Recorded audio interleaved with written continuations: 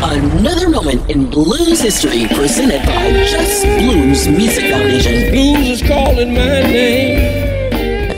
She was called the Queen of the Blues, and with a voice that could growl, testify, moan, and proclaim victory with equal power, and a presence that commanded attention from the moment she hit the stage. Koko Taylor more than lived up to the title. Born in Memphis in 1928, she moved to Chicago in the early 1950s.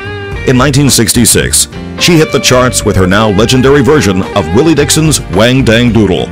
And over the next three decades, she expanded her reputation worldwide, filling stadiums and auditoriums as well as nightclubs with her message of unbridled sass, assertiveness, and womanly power.